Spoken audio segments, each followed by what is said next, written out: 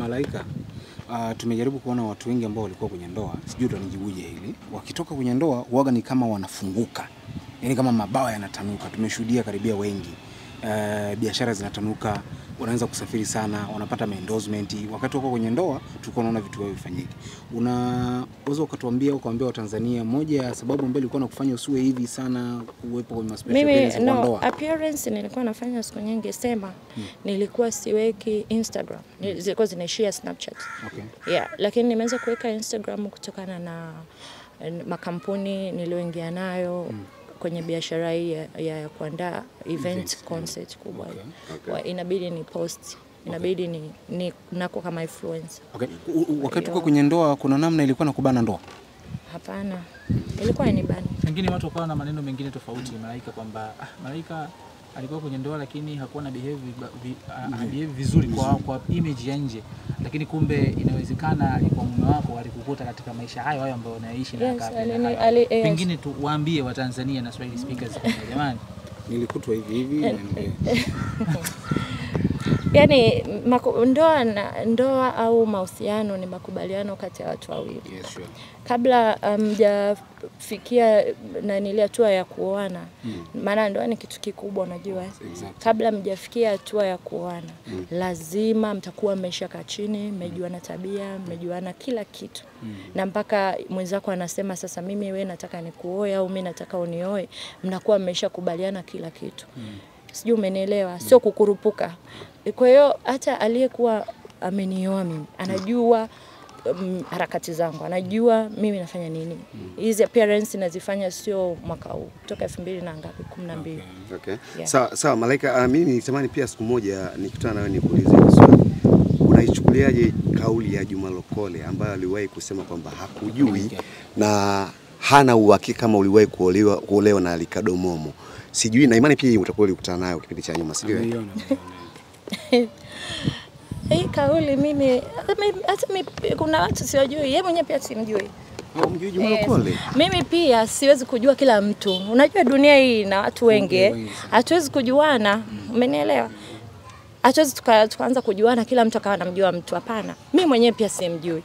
Hatujui. dunia- ina watu zaidi ya Ina watu saba. wengi sana. Kwa hiyo mtu akisema hanijui, mimi siwezi kushangaa kwa sababu ni kitu cha kawaida, kwa sababu hata mi pia kuna watu wengine siwajui except eh, ukijumlisha hata Epi. Lakini alikuwa kupost kwenye Instagram wewe? Sidhani, alikuwa kupost Shabiki no, sidhani, Ni shabiki tu sidhani. au utakuwa shabiki tu? Mimi nasema sidhani kwa sababu mimi mwenyewe simjui huyo mtu Au mnayemwongelea. unamchukulia Juma Lokole kama shabiki yako? sio shemeji wala Eh, Actually alikuwa shemeji. Jamani, mimi nimemaliza. Okay, Malaika, ngoja ngoja ngoja. Issue ya Shatawale. Ngoja kidogo hapo. Uh, mimi nimeona kuna peji zimeandika kuwa, kuwa na mahusiano na yule msanii kutoka Ghana, Shatawale. Hapana, Mm. mimi nasapoti mziki mzuri, Ehe. nasapoti miziki ya wasanii wote, nasapoti kila mtu. Shatawale ni rafiki yangu, hatuna mahusiano yoyote. mm. Girlfriend wake pia ni rafiki yangu. Shatawale ulikutana wapi? Shatta nimekutana naye Ghana. uh -huh. mm. Wakati kwenye special appearance. Yes. Hem tuelezee ilikuwa. Eh, hapo Hapo Shatawale kitu sichokijua ni najua naye kama huu ni mwaka labda wa tano. Okay. Yes. Ni rafiki yangu wa siku nyingi, so juzi wala jana, labda kwa vile tu yeye aliposti na mimi nikawa nimeposti Snapchat, lakini hatuna mahusiano yoyote Uh, Ah, leo bana tume leo tuko na Mariam sio Malaika mm. kwa sababu amekuja kufanya jambo kubwa kabisa kwa, kwa jamii yetu kwa watoto wenye uhitaji maalum na leo Malaika amefika hapa akiwa na ndugu yake Mwijaku. Kwanza Malaika, hongera sana, hili ni jambo kubwa sana. Asante sana. Okay, tuambie kitu gani ambacho kimekusukuma zaidi kuja kufanya hili ambalo pia leo umelifanya? Kama nilivyozungumza ndani, mimi huwa nafanya mara kwa mara, sema siweki public, okay. ila nilivyomshirikisha kakaangu Mwijaku akasema pana, hili ni jambo zuri, utawainspire na watu wengine. Kwa hiyo nika, nikaona sio mbaya nifuatishe ushauri Mwijaku. yeah, Okay. wa Ila Mwijaku. wazo lako. Uh, waga mara nyingi nafanya, marafiki zangu wa Snapchat huwa wanaona Okay. yeah. Okay. Ila baada ya kuwa na urafiki na Mwijaku na mabadiliko unayoona kwako. Kwa nini? Sinaona kama ile kakushauri hivi? Yeah, ni mshauri mzuri yeah. wewe na Mwijaku nini ambacho kimekutanisha kwa sababu tumeona ghafla tu wewe na Mwijaku umekuwa mabest Nafanya naye kazi Kazi gani? Wepo kazi gani? Mwijaku mtangazaji au na duka anatangaza Eh, yeah, mtangazia. Mbona Malaika huku Duka. umebadilika sana kuongea? kwa katika product ambazo ambazo Mwijaku anazitangaza kuna moja pale ya kwako Anatangazia duka langu Lipi hilo tuambie basi. Duka langu Kinondoni studio. Na, okay. Yes. Huwa anaposti matangazo Ma- ya duka langu. Okay, sawa. Malaika, um, tunafahamu uh, vituo vya namna hii vya kusaidia watoto uh, viko kila mahali na tunafahamu pia wewe unaishi Kigamboni. Kwa nini umekuja Sinza na isiwe labda Kigamboni? Huwa anafanya vituo tofauti tofauti. Hiki kituo ni mara ya pili kama sikosei. Kuna kituo kingine Magomeni, kuna kingine Kigo, Kigogo na kingine Mkwajuni. Huwa anayotembelea mara kwa mara. Okay. Yeah. Sawa, speaking about uh, kati kwenye mitandao tulikuona uh, ulisafiri kwenda Uganda na ulipokelewa eh, kwa vizuri wa, ulipokelewa na watu na maua pale tumeona Uh, kikubwa kabisa kilichokupeleka kule, maana comments zilikuwa ni nyingi baada ya kupostiwa clip zako. Malaika amesafiri kwenda Uganda, anasafiri kama nani? Msanii nani? Maana haijulikani. Kitu gani kilikupeleka Uganda? E, kama nilivyosema interview yangu uh, iliyopita Crown kwamba mimi nipo kwenye mambo ya entertainment. Naandaa um, tupo kwenye tunaandaa event tofauti tofauti. Alafu pia nipo kwenye maswala masuala ya appearance na masuala ya kuhost club yani tofauti special- special appearance, Ah, okay. Kwa hiyo mara nyingi nakuwa na na, na, na contact za za hizo club na hizo event mm. waki, wakiwa wamenibook nasafiri, ndio maana mara, mara nyingi sana nasafiri yeah. wa, wa, wa, wanachotaka wao kwenye special appearance ni nini? Kwa sababu unajua mtu mwingine labda star Diamond, ndio unajua msanii.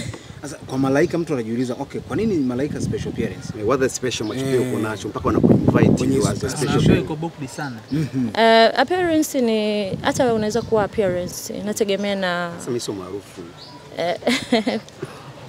Uh, Labda watu wanaweza kujiuliza labda muonekano wako ndio unafanya wewe special appearance. Yeah, iko pia ni kimoja hapo, ni muonekano na contact, unajua connection Yeah, yeah. naweza kusema So, so Yeah. so, ukifika kwenye hizo sehemu ambao unaitwa kama kwa sababu uh, kwanza unatakiwa una- ujue kwamba mimi nipo kati ya watu ambao wanaandaa concept ma concept ya nje Concept event kubwa, umenielewa? Okay. Yes. Kwa hiyo uh, uh, event uh, hosting appearance, hivyo ni vitu ambavyo mm. unapata connection, unaelewa? Mm. Yes. That, how much does it cost kumpata Malaika kwenye Hiyo hiyo hiyo mimi siwezi kulizungumzia, na watazungumzia management yangu, pia na management. Okay. Sawa, Malaika, um, hizi appearance nyingi ma- mara nyingi tunakuona unafanya nje ya nchi. Mm, ni- mara nyingi ni, yes. ma, ndio nimeanza kufanya ndani ya nchi sasa hivi. Okay. Tu, tu, tu, Yani- kitu, uh, kitu gani ambacho pia kwa wabongo walikuwa kuchukulia poa imefikia pahala sasa hivi tumeona una appearance Tabata hivi karibuni, na kwa sababu nyingi sana umezifanya nje ya nchi. By the way tunafahamu ulienda Uganda, lakini pia story ambayo Nigeria, okay, Kenya, Nigeria, Ghana, Ghana, South Africa. yes. Okay. Uh, uh, wapi?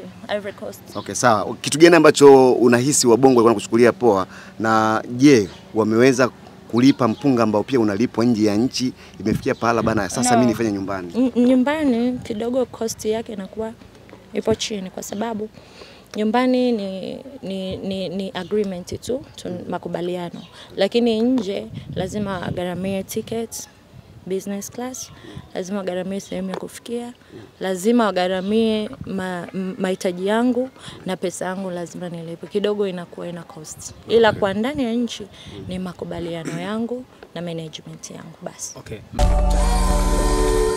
Karima Story Live. Bonyeza hapa kusubscribe na bonyeza hapa kwenye alama ya kengele ili usipitwe na video mpya kila inapowekwa.